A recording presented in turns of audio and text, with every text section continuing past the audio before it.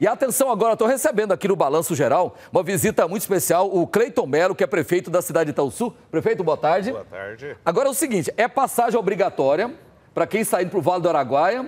Acho que quem nunca parou lá para tomar um café, comer um pão de queijo, alguma coisa ali, nunca desceu naquela região, né? Com certeza, Loares. Nossa cidade ela é tradicional na questão do salgado, do café da manhã. O pessoal para lá nas nossas lanchonetes, porta aberta, bambuí. É tradição. Quem desce, passa lá. Mas tem uma outra importância da cidade de Itaúsu, é lá que nasce o Rio Meia Ponte. O rio que, o rio que abastece boa parte de Goiânia, ele nasce lá, no, lá na cidade de Itaúsu e por isso ele tem um, a cidade tem um papel muito importante nesse contexto e, inclusive, a o ICMS, né, que tem uma destinação para essa área ambiental, de que forma que vocês estão utilizando para que não só Itaúsu, mas todas as, as cidades banhadas pelo Meia Ponte sejam beneficiadas? Então, nós trabalhamos nesses dois anos de gestão, nós conseguimos o ICMS no topo, né, junto com a nossa equipe do meio ambiente. Hoje a gente investe em plantações de árvore, educação ambiental. Então, nós temos toda uma estrutura voltada realmente para o meio ambiente, criação de cacimbas, cuidando das nascentes, cercando as nascentes. Então, é um programa nosso voltado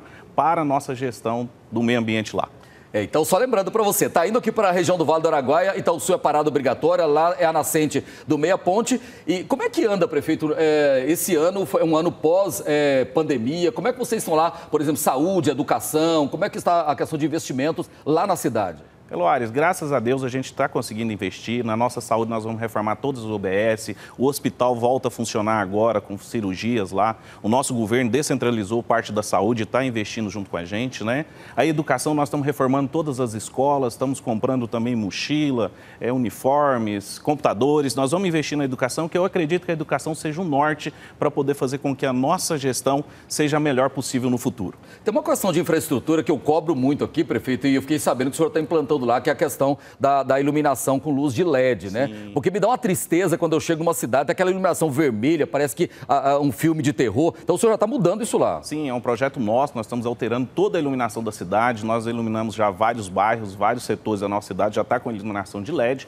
Esse ano nós vamos investir mais de um milhão de reais novamente nessa estrutura para trocar, além de reduzir, né, clarear a nossa cidade, reduzir o custo também da isso energia. Isso o quê? Quantos por cento da cidade já, já está recebendo? Ah, hoje umas 30% já está pronto. Já está pronto pronto. Está pronto. A previsão, é, é, a pretensão é o quê? Ao termo do meu mandato, 100% concluído. Já, tem, já dá para dizer que essa iluminação de LED, nessa área de infraestrutura na cidade, já está trazendo resultados do ponto de vista é, é, de segurança pública e de economia? Com certeza, né? Várias partes da nossa cidade já está bem clara, bem visível.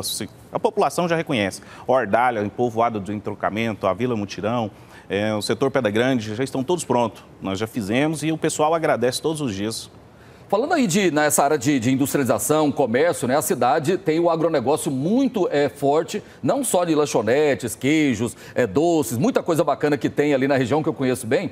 Ah, de que forma que o município tem apoiado esse agronegócio, o pequeno é, comerciante? Então, nós estamos com um programa lá agora, onde a gente vai criar também áreas para poder montar polos industriais, levar pessoas para poder investir na nossa cidade. A nossa cidade consta com a duplicação da avenida, né, das, das ruas até lá. É, a gente está criando novos setores para investir em moradia, onde a gente vai ter lá mais de 800 casas sendo construídas. Claro, é particular, mas é investimento dentro da nossa cidade, além do polo industrial, que é uma parceria junto com o nosso governo do estado. Isso significa o quê? Essa construção é, é, desse, desse loteamento, dessa área onde casas serão construídas, significa o quê? Que a população é, tem buscado construção, que a cidade está crescendo? Graças a Deus. Hoje, Eloário, se você for na minha cidade procurar uma casa para alugar, você não vai encontrar. A cidade está crescendo, as pessoas estão morando em Itaúsu e a gente tem buscado mais parceiros para ir para lá, para desenvolver mais ainda a nossa cidade. É o lema nosso, eu fui eleito com esse né, para o empreendedorismo, pelo desenvolvimento. Essa é a nossa missão. Agora, é, então, Sul, como eu falei que é rota de passagem, até que ponto esse turismo lá do Vale do Araguaia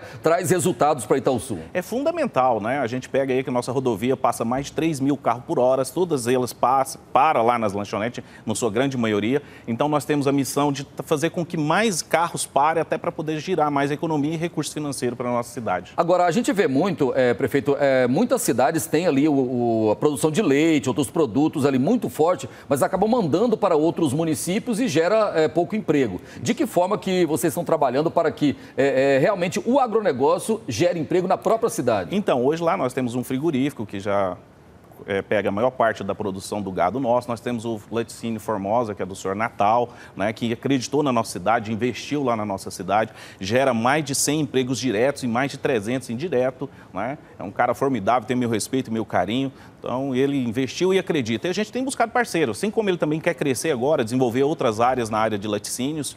Então, o Sul está crescendo. Nós temos o laticínio do Fabinho também, que faz a mussarela, a famosa mussarela, e é muito gostosa, né? Tem vários frigoríficos lá. Então, é, o investimento fica muita parte lá, boa parte lá. É, graças passei, a Deus. Passei há pouco tempo lá na região, eu vi muita plantação de frutas né? É, me parece que tem uma, uma, plantação muito grande, eu não sei se é laranja ou limão, que tem do lado direito para quem está tá passando. É, essa produção, ela, ela já, já, começa a aparecer nos números do Estado, já começa a mostrar o, o, potencial econômico? Já sim, hoje nós também temos a plantação de soja lá na nossa região, tem a plantação da laranja na nossa região. Essa laranja que é produzida hoje, ela ainda é vendida maior parte para São Paulo e também para no Mato Grosso. Porém, a gente também né, temos no projeto, até no futuro, a gente buscar uma fábrica para produzir o suco lá mesmo na nossa região. É? Aí, né? Então fica aí essa, essa, é, é, essas informações da cidade de Itaúsu. O que, que os moradores da cidade e também quem não mora, mas passa Sim. pela cidade, pode esperar ainda para esse ano, prefeito? Então, nós estamos lá, nós vamos construir moradias agora para o povo, nós vamos estar tá fazendo a reforma de todas as escolas, nós vamos estar tá fazendo recapeamento da cidade total, troca da iluminação por LED, né? Vamos construir com a força da Câmara de Vereadores, que é parceira nossa lá, nós aprovamos um projeto para montar uma usina fotovoltaica, onde nós vamos gerar energia para o povo novo que vai pagar a iluminação pública, bem como para todos os prédios, reduzir custo também para a nossa cidade. Nós estamos assim com a visão para 20 anos de crescimento da nossa cidade agora, se isso Deus é, quiser. Isso é bacana, né? O Cleiton, então, prefeito da cidade de Itaúsu, é a cidade onde eu já comprei panela, já comprei mesa de madeira, doce, lanche, ou seja, você passa por Itaúsu, você pode, é, além de coisa gostosa, muita coisa boa também naquela região ali. Cleiton Melo, muito obrigado pela visita aqui ao Balanço Geral, volto sempre para trazer notícia. E lembrando, né, que esse ano nós vamos fazer a temporada do Araguaia e todo todo ano a nossa parada de ida e volta é Itaúsu, né? Lores, e aproveitar que nós também, em Itaúsu, nós temos uma tradição de fazer lá no Araguaia o dia também do nosso povo. Eu levo nossa população para lá para participar. A gente monta lá um, um rancho lá para as pessoas, onde a gente serve a comida, a bebida com custo, é, valor pequeno para as pessoas. E, e nós vamos estar tá com ter. você. Nós vamos estar tá lá com você. Vamos encontrar então no Araguaia, viu? Então, um abraço a todo o pessoal da cidade de Itaúsu. Muito obrigado mesmo. Prefeito, volta sempre. Obrigado, obrigado viu? Um a gente se encontra lá no Araguaia. Estaremos tá lá. Um abraço. Um abraço.